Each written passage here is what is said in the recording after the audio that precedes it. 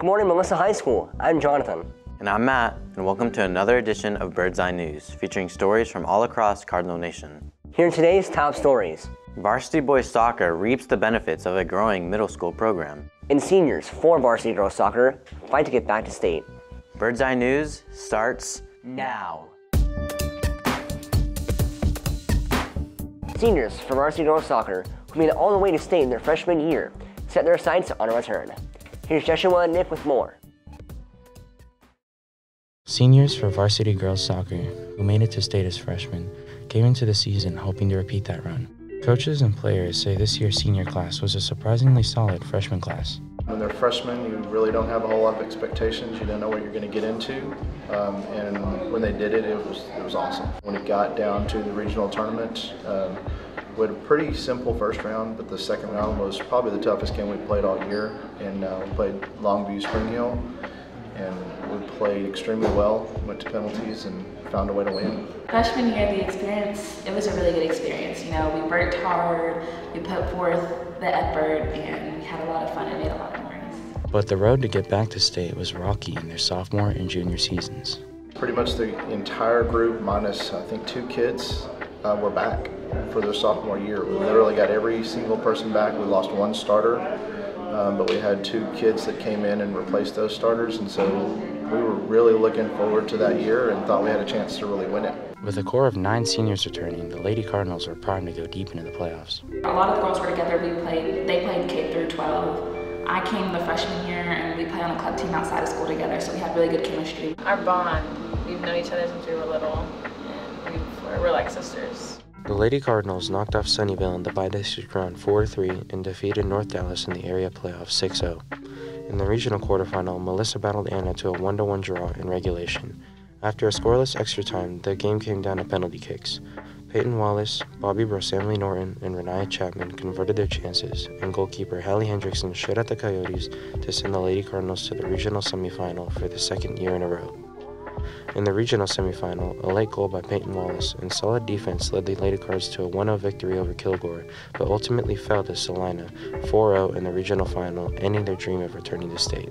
Okay, so for the Celina game, it's no secret we lost really bad, but um, you know we worked the hardest that we could with only 10 people on the field. And when I turned and looked, it was like probably the last 15 minutes. It was all the seniors, all the girls that I've been playing with since freshman year. We all got to play one last game. I mean, they started the middle school program, and so when they went through middle school and got into high school, they really helped us develop our program to what it is today.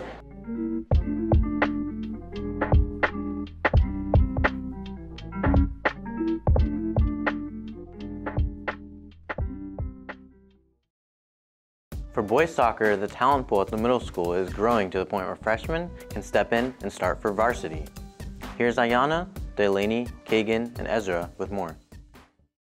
The Melissa Boys soccer program has grown over the past few years, creating a deep talent pool that coaches say will help the varsity team compete in their move to 5A next year. We have a whole bunch of boys that have really bought into our philosophy and bought into our coaching style. And so, you know, they're just getting more and more wins and really allowing themselves to, to grow and excel. Eight years ago, boys soccer could barely fill a team. This year, they have more than 45 players in the program. This is the first year boys soccer has had a JV team, and coaches say it won't be long before they add a second JV team. Freshmen Josie Contreras and Caleb Goodrich, products of that growing middle school talent pool, stepped right into varsity's starting lineup this season. It's really hard to, to find players to fit that role, and they did it perfectly.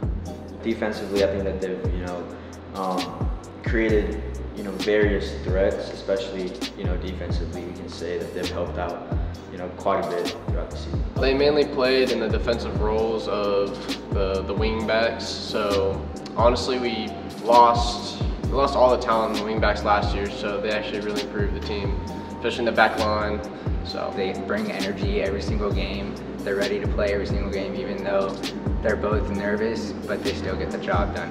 And they made freshman mistakes, but they stepped up and gave other freshmen confidence to play the game. We just want those boys and, and the girls alike in their program as well to really just come forward and kind of get some growth, um, get some skill, But the best, the biggest plus for us is that we get to see those eighth graders. And we get to see what kind of talent and skill we have upcoming, you know, for the next season.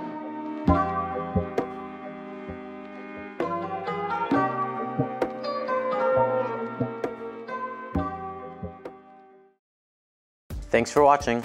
See you next time.